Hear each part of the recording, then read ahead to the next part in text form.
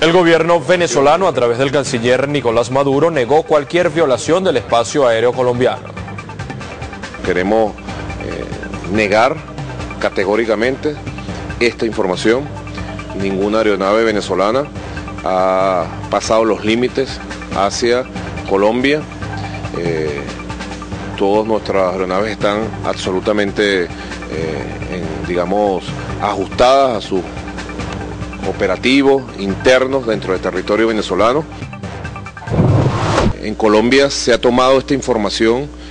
para reiniciar, para recrudecer una campaña sucia, brutal, de odio contra el pueblo de Venezuela, de odio contra el presidente de la República Bolivariana de Venezuela, para incitar sentimientos eh, de desprecio, sentimientos violentos contra nuestro país, forma parte de una campaña del gobierno de Uribe contra Venezuela, eh, en el marco de eh, lo que hemos denunciado, de una política que pretende iniciar un conjunto de eventos para justificar hechos violentos, para violentar la paz en nuestra frontera. Queremos denunciar que esta campaña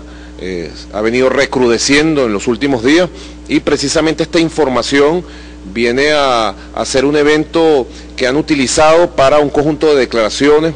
En Colombia hay una dictadura mediática de la oligarquía y en todas las televisoras, radios, prensa de la oligarquía colombiana se ha desatado una campaña brutal de odio contra el pueblo de Venezuela, contra el presidente de la República Bolivariana de Venezuela, que nosotros rechazamos.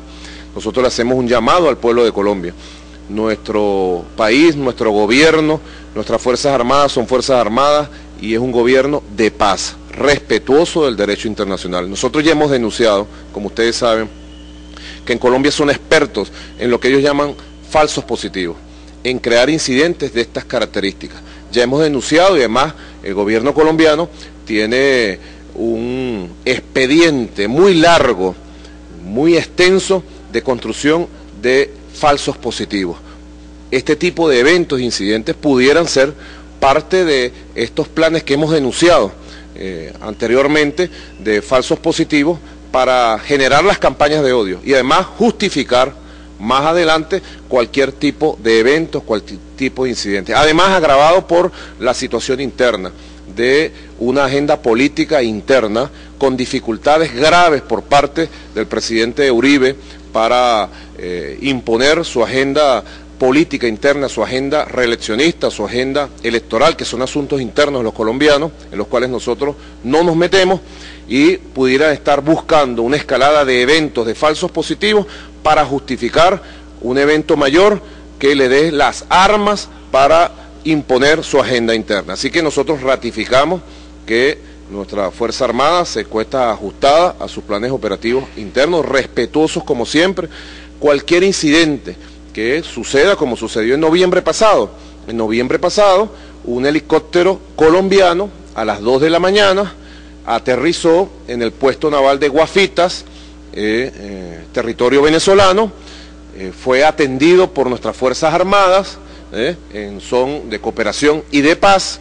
Se les entregó, bueno, alimento, café, como ya el presidente de la República lo dijo en su oportunidad, y cuando amaneció había tenido problemas de combustible, salió incidentes de este tipo, bueno, si llegaran a suceder, tendrían que ser asumidos como lo hemos asumido nosotros, con un espíritu de cooperación, con un espíritu de comprensión que en el caso de Guafita fue eh, demostrado de esa manera. Así que nosotros rechazamos absolutamente este tipo de información, alertamos al pueblo de Colombia,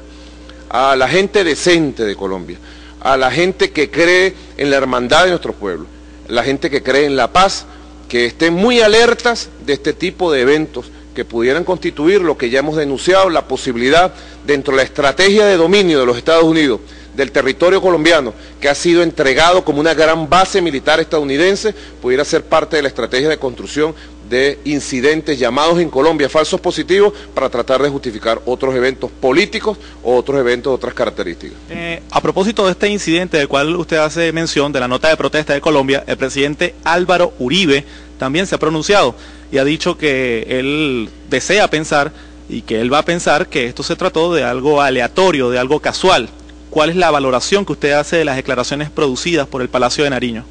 Bueno, eh, siempre marcadas por el cinismo, eh, porque lanzan los medios de comunicación de su oligarquía, controlados por el Palacio de Nariño, a esta guerra eh, asquerosa para promover el odio y la violencia, el chauvinismo, el desprecio a nuestro pueblo, el desprecio y el odio en contra de nuestro gobierno, del comandante Hugo Chávez, y luego entonces tratan de, eh, digamos, esconder con declaraciones aparentemente diplomáticas eh, eventos que estamos seguros están en el pleno conocimiento de quienes dirigen el Estado colombiano. Así que nosotros eh, estamos haciéndole seguimiento siempre a, a todos estos hechos y diciéndole a nuestro pueblo, y en este caso a la opinión pública colombiana, la verdad. Nosotros le hacemos un llamado a la opinión pública colombiana a estar alerta a este tipo de eventos. Nosotros siempre trabajamos con la verdad y ante este tipo de incidentes nosotros vamos a seguir eh, transmitiendo la seguridad que nos da nuestra Fuerza Armada de estar en, una, un territorio tan extenso como es nuestra frontera con Colombia, siempre eh, alerta, combatiendo el delito, siempre resguardando desde nuestro territorio, adentro de nuestro territorio, con absoluta seguridad, resguardando el territorio que le pertenece a nuestro país.